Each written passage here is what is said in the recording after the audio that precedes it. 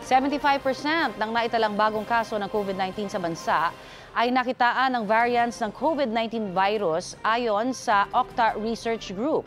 Ayon naman sa World Health Organization, maaring may variants of concern na sa ibang lugar na hindi pa na-detect. Narito ang unang balita ni Lay Alves. Sa bilis ng hawaan ngayon, ang estimate ng Octa Research, papalo pa sa 10,000 pataas ang daily new cases bandang katapusan ng Marso sa buong bansa. 6,000 pataas dito sa Metro Manila. Ang pagpapababa ng bilang ng mga bagong kaso ang layunin ng ipinapatupad ngayong NCR Plus bubble.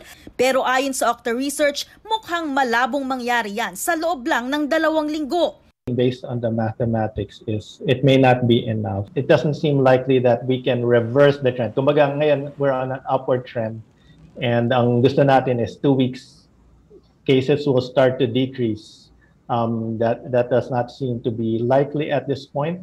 Ang best case scenario raw makakita ng pagbagal sa pagdami ng mga kaso makalipas ang apat na linggo. Kailangan daw ang kooperasyon ng lahat para mangyari ito. The last time we were under MECQ, it took us four weeks to reverse the trend.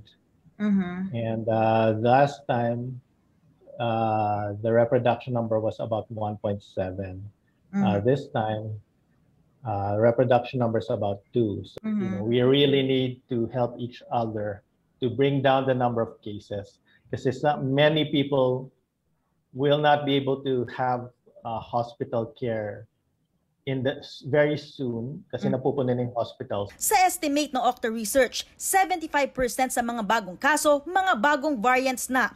Base raw ito sa dami ng nadadagdag sa mga bagong kaso kumpara noong wala pang detected na bagong variants sa bansa.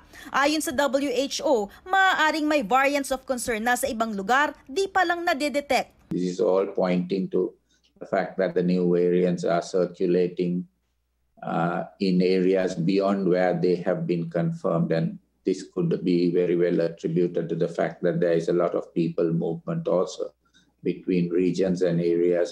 Ang home gatherings at pagsasama-sama ng mga tao sa lugar ng trabaho kabilang daw sa mga pangunahing dahilan ng pagtaas ng mga kaso. And what uh, has been uh, shown, at, with, at least with the information that is available, is um, the major reasons talaga of uh, the rise in cases recently are because of home gatherings and yung ating um, workplace gatherings.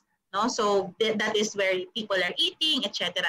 Bukod sa pagsunod sa mga itinakdang health protocols, paalala ng DOH sa mga employer magsagawa ng active surveillance. Huwag nang hintayin may magpositibo sa mga empleyado. I-monitor ang mga empleyadong may sintomas at mag-routine surveillance sa mga high risk na magka-COVID dahil sa kanilang trabaho.